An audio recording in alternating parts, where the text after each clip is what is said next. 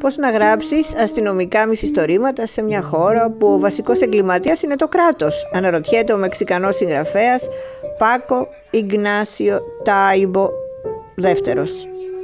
Νότια του Ρίο Γκράντε, το παραδοσιακό αστυνομικό μυθιστόρημα έχει διαγράψει τη δική του πορεία με σημείο εκκίνησης στα μέσα της δεκαετίας του 1970.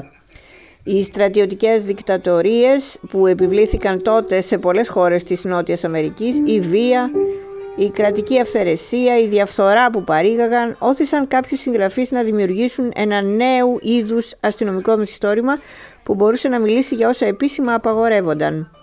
Ανάμεσα στα επίλεκτα λογοτεχνικά ονόματα είναι ο περουβιανός συγγραφέας Σαντιάγο Ρονκαλιόλο από τους σημαντικότερους νέους πεζογράφους της Λατινικής Αμερικής.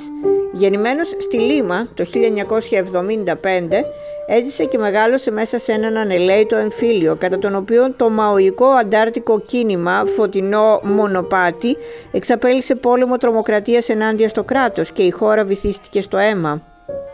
Οι πρώτες εικόνες που θυμάμαι ήταν σκυλιά κρεμασμένα από τον λαιμό σε στήλους του δρόμου, τα blackout τα μεσάνυχτα των Χριστουγέννων ή σε οικογενειακές γιορτές, τις εκρήξεις μέσα στο σκοτάδι.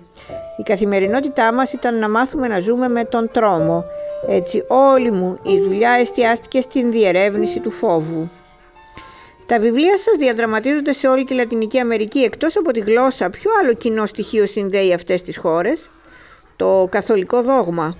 Οι Ηνωμένες Πολιτείες στη γειτονιά μας, συγκλονιστικές κοινωνικές ανισότητες, ημιτελή ψυχρή πόλεμη, μακρά ιστορία λαϊκισμού, πρώην επικιακός πολιτισμός, συγκρούσεις ταυτότητας μεταξύ της προϊσπανική και της ισπανικής κληρονομιάς, βία, βία, βία. Εάν η Ευρώπη είναι μια ένωση, εμείς θα μπορούσαμε να ήμασταν άνετα μια μεγάλη χώρα, απολύτως χαοτική.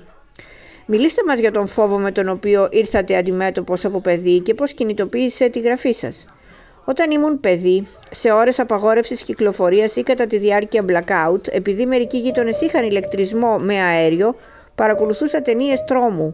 Εφιάλτης στον δρόμο με τις Λεύκες, Παρασκευή και 13. Τέτοια πράγματα. Μου άρεσαν αυτές οι ταινίες. Νόμιζα ότι ήταν πιο κοντά στη ζωή μου από τον μαγικό ρεαλισμό της λατινοαμερικάνικης λογοτεχνίας.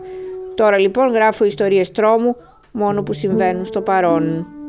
Το νέο μυθιστόρημα του Σαντιάγο Καλλιόλο αλλά ρίσε ημάς από του πονηρού θα κυκλοφορήσει στο τέλος της Άνοιξης από τις εκδόσεις Καστανιώτη σε μετάφραση του Κώστα Αθανασίου.